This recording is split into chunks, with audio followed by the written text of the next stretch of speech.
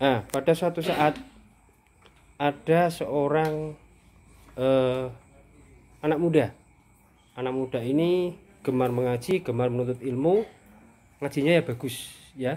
Nah, anak muda ini suatu saat mendengar bahwa di suatu tempat ya di padang pasir ada seorang kiai atau seorang ulama besar yang muridnya banyak tempat mengajinya ya terbuat dari masih dari bambu zaman dulu ya di tengah padang pasir.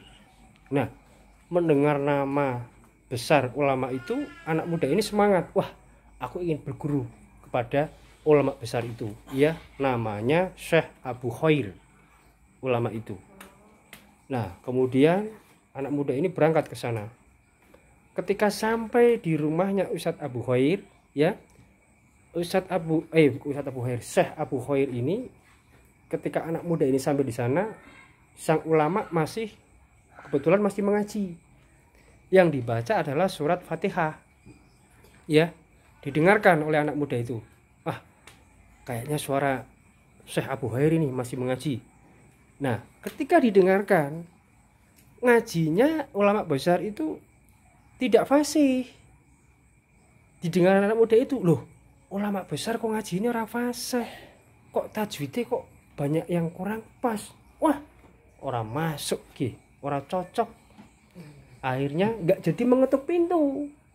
Mengurungkan diri nggak jadi ah aku jadi berguru. Oh ngaji fatihah berapa kok. Kemudian balik badan. Dia pergi.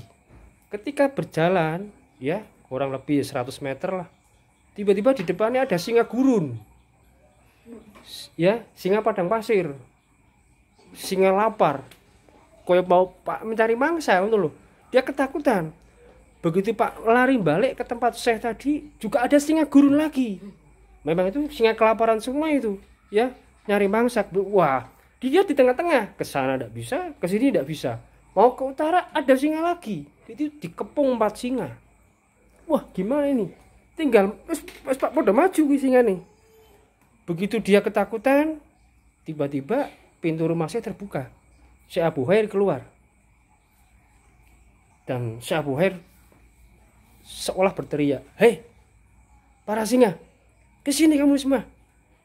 Singa nih sing galak kuwi, ya sing pak memangsa anak muda itu iso merek di hadapan Syekh Abu Khair itu dingkluk seperti takut. Kamu kan sudah tak bilangi, jangan galak-galak sama tamuku.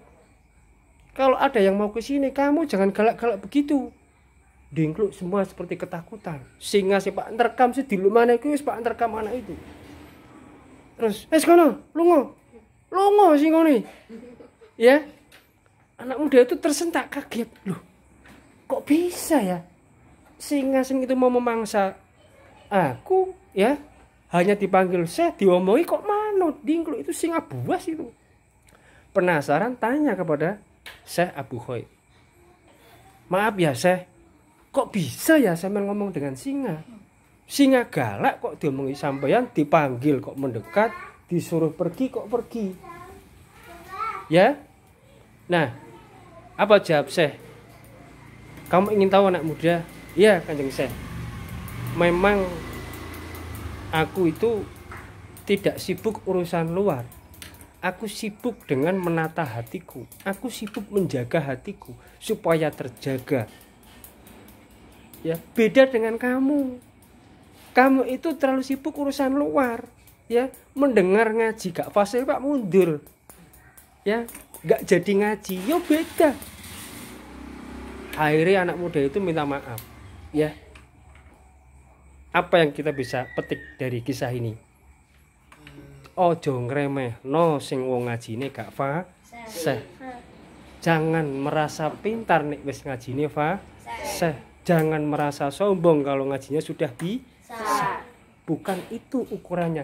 Hati kita lah yang dilihat oleh Allah. Itu yang dipandang. Bukan apa-apa yang tampak di luar kita. Yang dilihat oleh Allah adalah hatinya. Seperti hatinya Syekh tadi. Hatinya tunduk kepada Allah. Sehingga semua makhluk termasuk singa buas ya tunduk karena hatinya sudah tunduk kepada Allah semua makhluk binatang ya tunduk tidak berani ya lebih tinggi lagi seperti Nabi Muhammad Nabi Muhammad itu naik jalan singa harimau hewan buas dingkluk kabeh. Tekan pohon kelapa pohon apa yang tinggi mentiung hormat karo kanjeng Nabi Muhammad.